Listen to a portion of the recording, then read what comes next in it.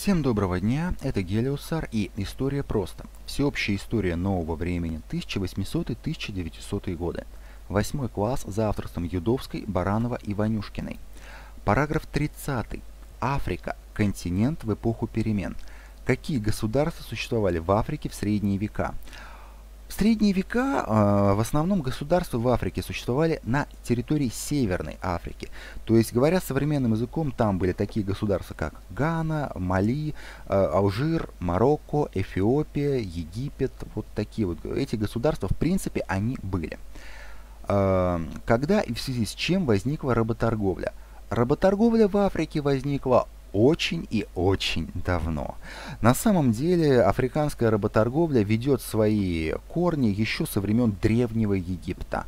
Поэтому и по сути дела эта самая работорговля, она не прекращалась никогда и, что интересно, не прекращается она и в 21 веке. В той же Ливии, которая, где было уничтожено законное правительство всякими НАТО и европейцами, в настоящий момент вполне себе существуют полноценные работорговые рынки, где продают тех самых африканцев по самым разным местам из самой Ливии. Причем продают именно как рабов. Поэтому работорговля как была, так она там и осталась. Но первыми очень активно продавать рабов стали арабы. За это, собственно говоря, негры ненавидят арабов гораздо больше, чем европейцев.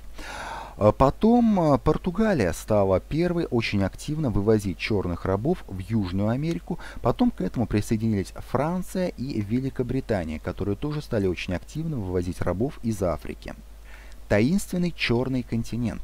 К началу XIX века африканский континент населяли различные народности. Продолжалось переселение целых народов и их формирование. В Северной, Восточной и Северо-Западной Африке в основном проживали арабы. В Восточной и Южной частях континента проживала многочисленная народность банту, в том числе племена зуусов и кафров, принадлежащие к негроидной расе. Народы негроидной расы населяли также Западную Африку, гуттентоты и бушмены, юго-запад, мальгаши, потомки индонезийских переселенцев, остров Мадагаскар. Все эти народы находились на различных уровнях культурного, общественного и экономического развития. У одних Эфиопия, Египет, Тунис, Марокко, Судан и остров Мадагаскар уже сложились крупные государственные или национальные образования. У других еще сохранялись родовые отношения. Государства, образовывающиеся в тропической и Южной Африке, возникали при отсутствии частной собственности на землю, так как считалось, что земля не может никому принадлежать. Пигмеи, живущие небольшими группами в лесах по течению реки Конго, принадлежали в XIX веке к числу наиболее отсталых народов мира. Они еще не знали оседлого образа жизни и занимались охотой и собирательством в пределах строго определенной охотничьей территории. Бушмены из Анголы вели жизнь людей каменного века, хотя у них существовали государственные образования в ряде районов реки Конго. К числу древнейших государств Западной Африки относятся Гана и Мали. У многих африканских народов высокого развития достигла культура земледелия, особенно выращивание кофе, арахиса, какао, бобов. Здесь есть одна маленькая такая особенность. Дело в том, что кофе – это растение, которое существовало на территории Африки и Европы, ну, точнее, Евразии, достаточно давно. В свою очередь, какао, кофе и какао – это разные вещи. Так вот, какао приехал из Южной Америки и пришел в Африку, когда туда пришли колонизаторы. Некоторые африканские народы знали письменность и имели свою литературу. Культы и религии Африки. У африканских народов не существовало единой религии. Местные верования представляли собой множество родоплеменных культов, культ предков, культ природы и стихии и тому подобное. Все верования были проникнуты колдовством и магией, приемами и действиями, которые, которым воображение приписывало способность оказывать воздействие на мир. Вера в богов соединялась с, а, с обожествлением живых и мертвых правителей, царей или королей. Существовал культ царей-жрецов, личность которых окружалась множеством табу, запретов, и а их э, воцарение и смерть сопровождалось специальными обрядами. Так, в государстве Лаонго, район Нижнего Конго, никто из жителей под страхом смерти не мог видеть, как ест король. В случае смерти короля по всей стране гасили очаги, запрещалась всякая деятельность – охота, рыболовство, торговля и тому подобное. Люди не должны были менять одежды и стричь волосы. Так продолжалось вплоть до дня вступления на трон нового короля, и этот же день был днем похорон предшественника. Умершего сжигали в пламени священного огня, который зажигали юноша и девушка. В государстве Бакуба, внутренние районы Конго, король, олицетворявший силу и благополучие всего народа, не мог умереть своей смертью от старости или болезни. По традиции его душили, не дожидаясь естественного конца. В традиционных обществах на э, Африке наряду с колдунами уже появились и жрецы, группировавшиеся вокруг храмов отдельных божеств. Храмы обычно представляли собой простые сооружения из дерева и пальмовых листьев, но при этом они владели землями и рабами, громадными богатствами, которыми распоряжались жрецы. В то же время в Африке распространялись мировые религии – христианство и ислам. Ислам распространялся из Северной Африки, где жило арабское население. Католические и протестантские миссии еще до колонизации обращали население в христианскую веру раздел Африки.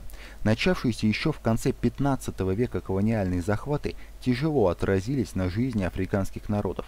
Нарушались традиционные торговые связи, колониальные войны приводили к разрушению местных промыслов, а иногда к гибели целых государств.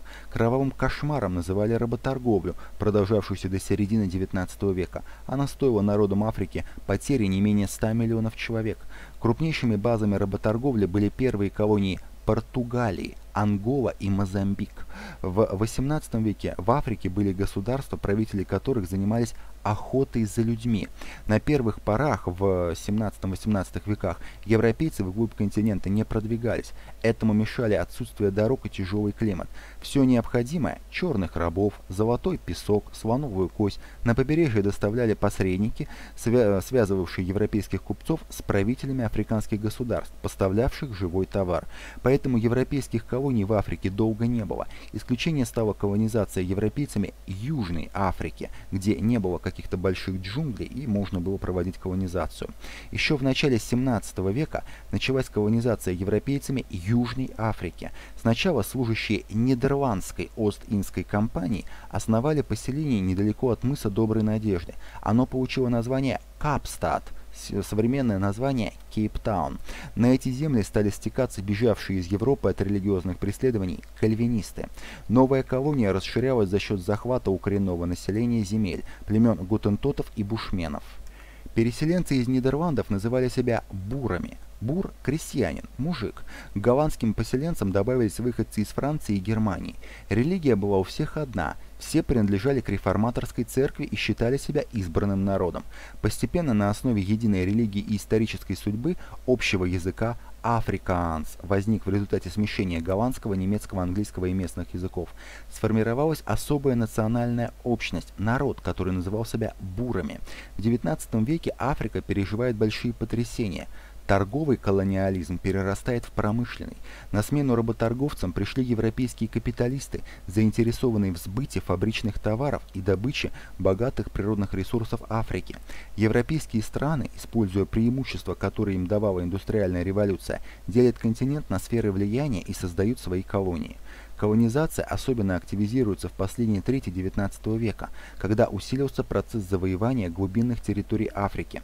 Каждая европейская страна стремится присвоить себе как можно больше территорий, продвигаясь от побережья вглубь континента. Колонии становятся рынками сбыта и предметом национальной гордости колонизаторов, создающих колониальные империи. Борьба за полный ее раздел европейскими державами привела к появлению французской, британской, германской Африки, небольшим участком, например, итальянской Африки. Правительства стран-колонизаторов пытались оправдаться перед общественным мнением свои территориальные захваты желанием самих африканцев стать под их защиту подтверждении этого политики часто показывали договоры о протекторате, подписанные предшественниками или купцами их стран с какими-либо африканскими королями или вождями племен. Но как показывали дальнейшие события, стороны очень по-разному понимали, что означает понятие протекторат. Для африканцев это значило не более чем установление дружественных отношений – Землю, полученную от предков по их представлениям, никто не мог у них отнять. Государственный флаг, который им оставлялся после подписания договора, коренные жители воспринимали как просто красивый подарок, а не знак принадлежности к другой стране. И если приходили новые гости, заключался новый договор о протекторате и вывешивался новый флаг. К 1900 году территориальный раздел завершился. В руках колонизаторов находилось более 90% территории африканского континента. Независимость удалось сохранить только Либерии и Эфиопии, однако первая стала сферой влияния США, а вторая – Англии, Франции и Италии. Свободная республика. Создание Либерии связано с борьбой против рабства в США. В 1816 году в Соединенных Штатах Америки было организовано Американское общество колонизации, поставившее целью переселение в Африку освобожденных в США рабов-негров. В 20-х годах XIX века это общество приобрело у африканских вождей прибрежную территорию на Гвинейском берегу за 6 ружей, ящик бус, две бочки табака и другие товары общей стоимостью 50 долларов. Здесь было основано поселение Монровия, названное в честь американского президента Монро. Негры-переселенцы, свысока смотревшие на африканских собратьев, расширяли свои владения, используя силу и межплеменную рознь. В 1847 году здесь была провозглашена Республика Либерия от Либертас, свободный. Взаимоотношения переселенцев с местным населением складывались негладко, и все же можно говорить о первой негритянской конституционной республике, ориентировавшись на передовой для своего времени американский конституционный стандарт. Либерия стала неболь... Э, Либерия, небольшой островок, окруженный враждебной стихией, сумела отстоять свой суверенитет. Постепенно увеличилось количество имеющих право голоса аборигенов, росло число образованных людей, в том числе и интеллигенции. Руководители страны умело использовали противоречия между Англией и Францией. В результате Либерия избежала прямого порабощения, но от экономического закабаления ей спастись не удалось. Страна специализировалась на добыче железной руды и производстве каучука и зависела от превратности мирового рынка и от деятельности иностранного капитала. Эфиопия – страна, оставшаяся независимой. История этой страны, где существовала христианская религия, началась в глубокой древности. Эфиопия и эфиопы сами по себе помнят еще египетских фараонов. А, так вот, в XIX веке Эфиопии удалось избежать печальной участи стать колонией европейских стран. Тем не менее, это была слаборазвитая страна, которая состояла из достаточно самостоятельных феодальных княжеств, имевших свои войска и собственное управление. Феодальной раздробленностью и междоусобицами неоднократно пытались воспользоваться европейские державы. Угроза порабощения европейскими колонизаторами нависла над страной. В этих условиях в 50-е годы XIX века к власти пришел э, Негус, верховный правитель Теодорос II, которому удалось объединить эфиопские земли и покончить с междоусобицами. Он провел ряд реформ, направленных на ограничение власти феодалов и усиление центральной власти, на поддержку церкви с одновременным подчинением ее государству, уменьшил налоги, запретил работорговлю, Целый ряд реформ, проведенных в области хозяйственной жизни, способствовал развитию торговли. В страну приглашались европейские специалисты.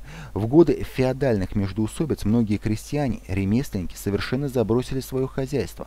Поэтому Теодорис II в первые же дни своего правления обратился к населению Эфиопии с призывом, чтобы каждый вернулся к профессии своих отцов, торговец к лавке, крестьянин к плугу. Строительство Суэцкого канала сделало Эфиопию важным стратегическим объектом для европейских держав.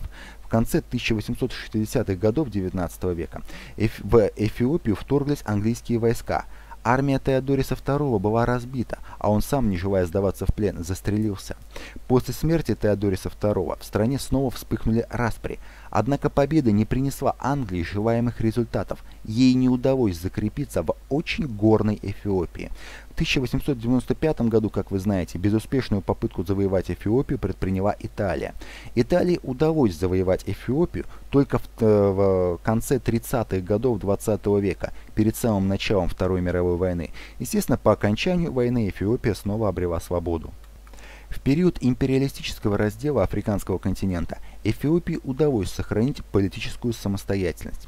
Втягивание экономики Африки в мировой рынок. Захватив Африку, европейские державы приступили к ее освоению.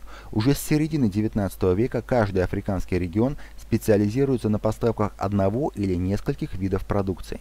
Производились идущие на экспорт культуры, например, хлопок, арахис, какао, пальмовое масло, фрукты. В конце 19 века резко усилился приток капиталов в колонии. В Южной Африке крупные капиталовложения делались в добывающую промышленность, созданную на базе месторождений золота и алмазов. Строились железные дороги, шоссе, морские порты, города. Появилась потребность в квалифицированной рабочей силе, местных кадрах для колониальной администрации, и это привело к открытию школ, где изучались европейские языки. На континенте образовался слой местных чиновников, служащих, составивших вместе с традиционной верхушкой общества африканскую элиту. Но подавляющая масса африканцев с трудом воспринимала новшество, не понимала основ нового государственного устройства. Даже переселяясь в города, африканцы сохраняли общину, свои традиции и обычаи. Однако специализация оборачивалась для континента неравноправной торговлей. Низкие цены на африканские экспортные товары определялись мировым рынком, а на приобретенные промышленные товары, европейские, цены устанавливались достаточно высокие. Этот неравный обмен и составляет одну из причин экономической зависимости африканского континента и в 21 веке. Вовлечение Африки в мировой капиталистический рынок, развитие средств транспорта и связи, создание зачатков современной промышленности и так далее, все это осуществлялось на основе хищнического отношения к людям и природным богатствам континента. Колониальный гнет вызывал растущее сопротивление африканцев. Наряду с крестьянскими восстаниями в конце 19-го начале 20 веков происходили движения протеста горождан, э, зарождавшиеся интеллигенции.